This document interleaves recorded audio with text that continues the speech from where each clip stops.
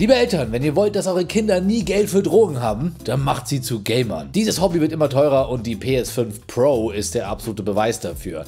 Aber lasst mich erstmal von vorne anfangen und die Bremse ziehen. Vor wenigen Tagen wurde die PlayStation 5 Pro angekündigt als Mid-Gen-Update und es gibt eine Menge Vorteile der Konsole, aber auch ein paar Nachteile, die ziemlich unauffällig sind, aber vielleicht, wenn ihr ganz besonders aufpasst, fallen sie euch auf.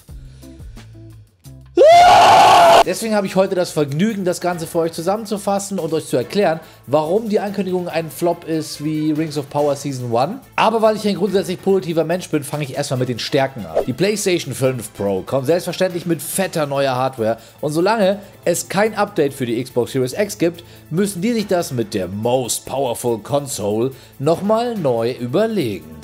Sony bezeichnet die neue Hardware als The Big Three und die kann sich sehen lassen. Die Grundausstattung der PlayStation 5 wird in drei Hauptkomponenten massiv erweitert. Komponente 1 ist die GPU, der Motor, der die Maschine ausmacht mit 67% mehr Computing Units und 28% schnellerem Speicher, soll zu 45% schnellerem Rendering führen. Wem diese Zahlen erstmal nicht sagen, keine Sorge. Nachdem wir die drei Kernkomponenten besprochen haben, erkläre ich euch noch, wie sich das auf die Spielerfahrung auswirken soll. Komponente 2 ist Advanced Raytracing. Raytracing, also die akkurate Berechnung von Licht, führt zu deutlich schöneren und realistischeren Bildern. Die aktuelle Konsolengeneration hat bereits versucht, sowas mehr im Konsolenbereich zu etablieren. Allerdings ist man hier oft beschränkt auf entweder nur die Schatten beispielsweise oder man ist limitiert auf 30 FPS. Konsolen waren bisher einfach nicht stark genug, aber die PS5 Pro soll genau das sein. Was uns zur Komponente Nummer 3 bringt. Ein Buzzword, was ihr bestimmt schon ganz oft gehört habt in letzter Zeit.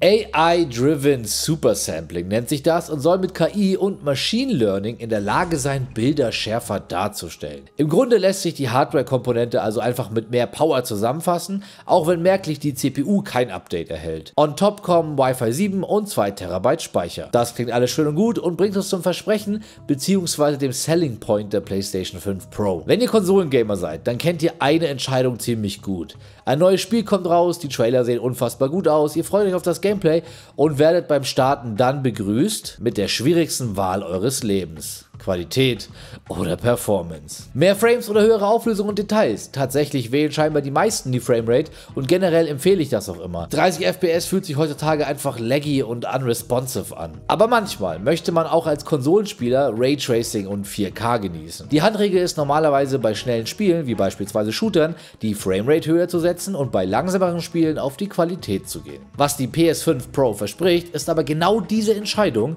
redundant zu machen.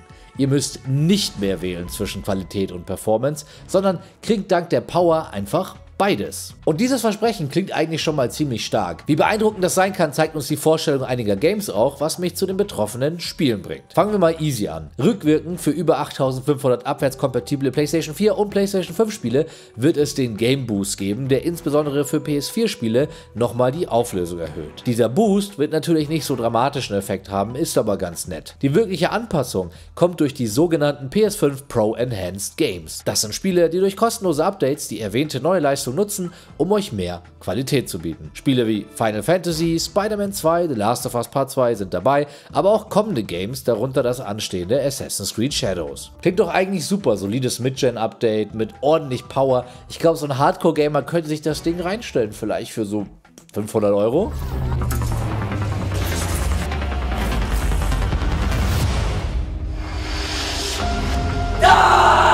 Ja, der wohl größte Nachteil ist der satte Preis. 800 Euro. 800 Euro, das ist eine 8 mit 2 Null.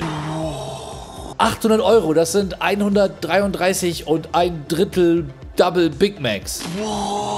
800 Euro ist für viele schon eine Monatsmiete. Sony, ehrlich, what the fuck? Fast schon so ein großer Flop wie Rings of Power Season 2. Und 800 Euro sind vor allem eins. Genug für einen PC. Und wenn man noch ein bisschen drauflegen möchte, sogar genug für einen richtig guten PC. Apropos drauflegen. Der Preis von 800 Euro beinhaltet kein Laufwerk und kein Standfuß, die du beide separat kaufen musst, wenn nötig. Möchtest du dir also die Konsole anlegen, wird also aus 800 Euro ganz schnell um die 1000. Und wie reagiert die Gaming-Community darauf? Nun ja, da die meisten von uns nun mal nicht Walter White sind, gibt es zu Recht Kritik. Ein paar der Benefits sind ganz cool, aber wenn ihr auf diese Bilder guckt, ist der Unterschied eigentlich fast nur für, ich sag mal, Feinschmecker merklich. Ist euch dieser Unterschied 1000 Euro wert? Ich bin selbst jemand, der möglichst viele FPS und hohe Auflösung mag. Gib mir Raytracing, gib mir 120 FPS, gib mir Fotorealismus, aber irgendwann gibt es nun mal eine preisliche Grenze. Und holy fucking shit, ist Sony da drüber geschossen. Und wenn euch die Qualität so wichtig ist, warum sollte man sich dann nicht gleich einen PC zulegen? Preislich sind die Unterschiede dann auch nicht mehr zu dramatisch und mit einem PC kann man nicht nur mehr machen als mit einer Konsole, sondern man hat auch keine weiteren Kosten in irgendwelchen Abo-Modellen und kann jederzeit einzelne Komponenten upgraden und so up-to-date bleiben. By the way, das Laufwerk für die PlayStation 5 Pro ist schon vergriffen und vielerorts gar nicht mehr bestellbar. Sieht also so aus, als würden sich die Skyper, die überall beliebten Gollums des Internets, schon darüber hermachen. Naja, ich sag's euch ehrlich, für sagen wir All-In 500 Euro hätte ich mir vielleicht überlegt, dieses Midgen-Update anzuschaffen. Aber wenn man bedenkt, dass es eigentlich gar nicht mehr so lange dauern kann, bis eine neue Konsolengeneration ansteht, gibt man ja hier knapp 1000 Euro aus für was, drei Jahre? Aber was denkt ihr? Schreibt eure Meinung in die Kommentare, denn das war der kurze Recap zur Enthüllung der PlayStation 5 Pro. Ich bin gespannt auf eure Meinung und wenn euch das Ganze gefallen hat, lasst doch gerne ein Abo da. Im Gegensatz zu Sony knüpfe ich euch dafür kein Geld ab, es kostet nämlich gar nichts. Damit sage ich danke fürs Zuschauen, macht's gut und bis zum nächsten Mal.